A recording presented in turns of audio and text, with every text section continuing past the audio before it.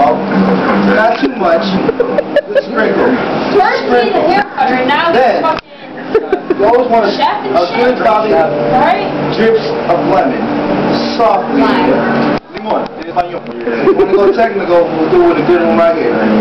Squirt, squirt, squirt, squirt, squirt, squirt, squirt. Just like when I give it at Mikey's mouth. Okay? All time. So, you get this in your tequila. Softly. Pour it in. Let it marinate with the and the lemon. But always to the top. Be always accurate with yourself. Maybe get yourself fresh limon. Okay? Swish. Put a dab. Try to get a Like it's like it's like Polly. a dab. You want to take a, a dash of this? You want to just a little bit. Yeah. So like quick. Ah, like that, okay? Put it down because you don't need it for later. Let it sound right quick. You don't just in case you don't say you want something. Like that.